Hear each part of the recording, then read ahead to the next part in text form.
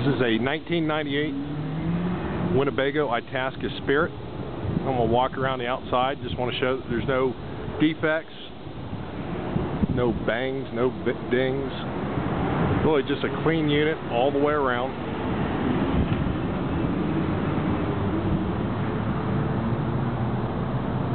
For a 98, this thing is in exceptional condition. It just really is in great shape. Only thing I can see is the decals have some spider cracks. That's actually normal for this age.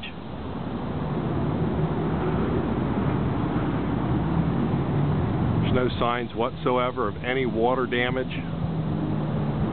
That's usually a reason for most customers trading them in these years because a lot of different customers don't don't take the time to make sure that the units are sealed up on top and that the caulking is done.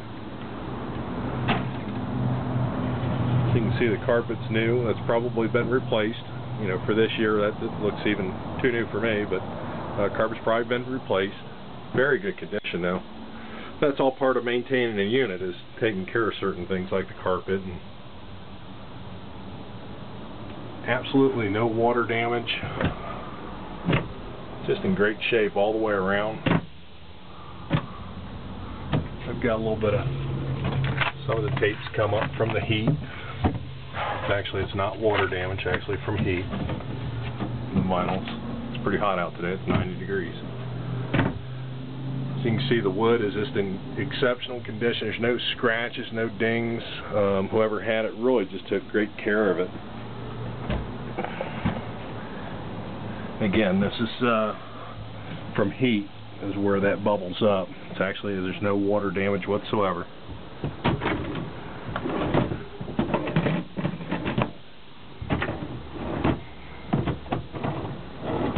Unit does have a uh, you know stove, three burner cooktop, microwave. Let me go around the whole top side. Just want to again show you that there's no damage whatsoever. This is where I would look if I owned this unit. I'd go straight to the cabinets, open them up and look. Absolutely no damage whatsoever. cabinets look really good shape. TV, VCR, See here, this pulls out.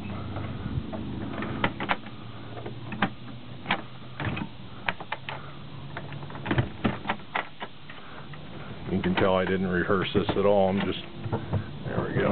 That pulls out. And you can turn it to wherever you'd like.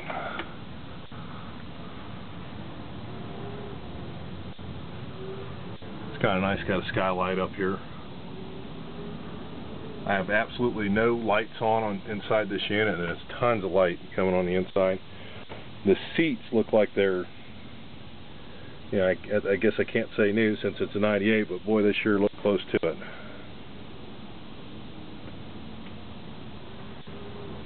No cracks in the dash. That would be very common in this year. This this unit definitely must have been stored inside. 40,000 miles on it. it. Does have cruise. AC. There's no staining on the seats. Just in excellent, excellent condition.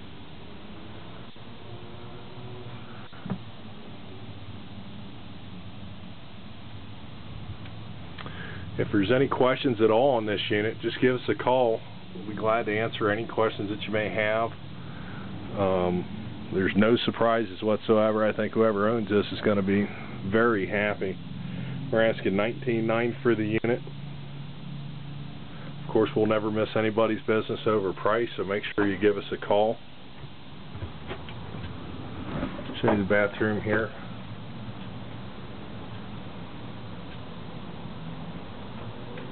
Separated toilet and shower. A lot of units in this size. They have the uh, toilets all in one again, the reason why I open up the cabinet so that you can see that there's no damage whatsoever. And, in 98s or anything that's four or five years old, you really need to look in all the different corners around to make sure that there's no leaking and there's no damage.